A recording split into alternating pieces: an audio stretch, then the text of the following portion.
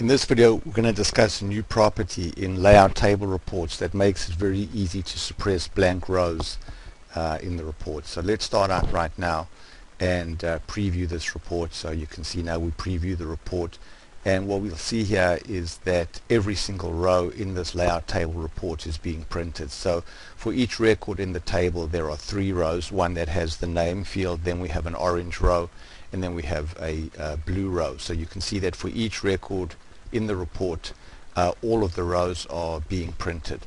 But let's say that I'd like to suppress the um, orange row or the blue row if the um, data in in the row is blank. So let's let's next go and take a look at the data that's in this report that we're uh, printing here. So you can see here's our data and we have, uh, if we look at our uh, structure here, we have some logical fields and some numeric, numeric fields and then a character field.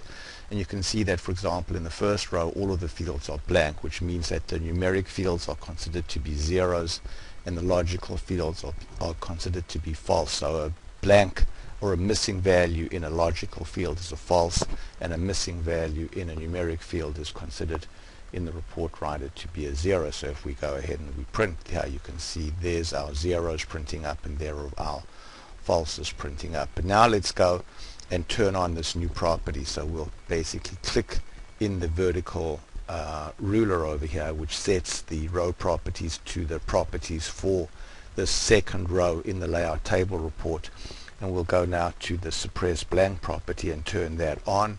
And then we'll click for the second row and we'll we'll choose suppress blank and we'll turn that on. Now let's go ahead and save that and then preview our report. And now we can see that for the first row the orange and blue rows sorry for the first record the orange and blue rows have been suppressed. And that's because the data in that uh, record was uh, or in this row of the report was considered to be blank and then for the second uh, for the second row for the second record the orange and blue rows are printed for the third record the blue row has been suppressed for the fourth row the orange uh, row has been suppressed etc so basically by just simply using a simple um, suppress blank property we can very easily suppress blank rows in a layout table report. Thanks very much for watching.